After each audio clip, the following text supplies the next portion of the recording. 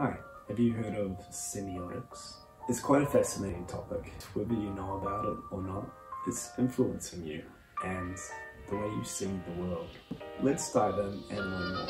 We'll also explore how to harness the power of semiotics as motion designer.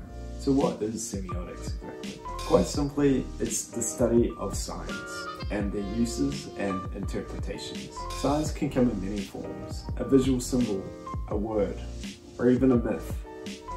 Here's a sign, and here's another one. The sign is made up of two interconnected components, the signifier and the signified. The signifier points to the signified concept or idea, but it's a representation. It's not the real deal. There's a famous piece of art that illustrates this quite well by Rene Magritte.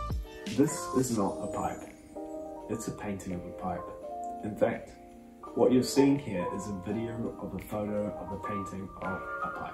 Roland Barthes was a pioneer in the study of semiotics and expanded on the work of Saussure. One thing that Barthes stressed most in his work was the common tendency for people to mistake social conditioning for natural phenomena. We are largely a product of our cultural environment. We become so familiar with the cultural perspectives that we no longer recognize its hold on us. It's much like a fish doesn't recognize the water that it swims in. We might assume that this is the way things are, but in reality, it might just be a cultural construct that's built up traction.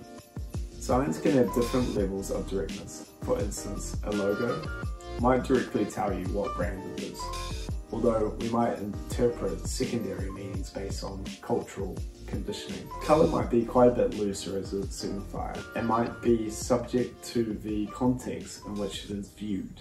A signifier always exists within social construction and every sign is dependent on the wide collective of signs. Jacques Derrida, a contemporary of Barthes, spoke of deconstruction, which means to dismantle our excessive loyalty to any idea and learning to see aspects of the truth in its opposite. He claims that we tend to privilege one thing over another, but in reality, the identity of one sign depends on the identity of the other to exist. So in that sense, they are forever linked, and one inherently holds a trace of the other.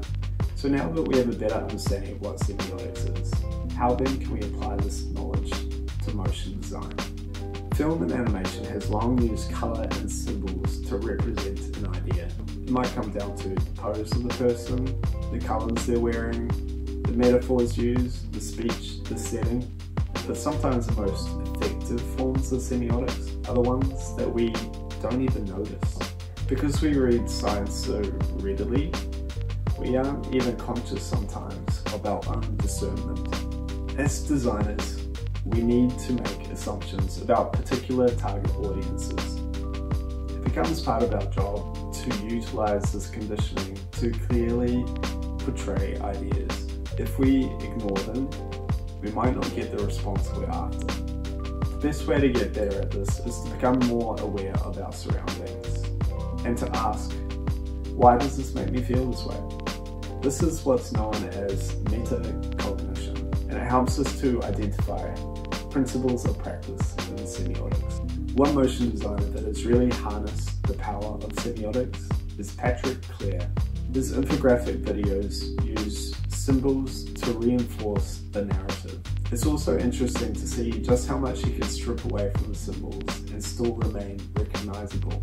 The reinforcement of visual and audio signifiers mutually strengthen each other and help the ideas go deeper. Sometimes we might purposely go against well-established semiotic principles. We might do this to grab the audience's attention and spark intrigue. In this ad for an alcoholic beverage, Clair plays on well-established signifiers to spark surprise.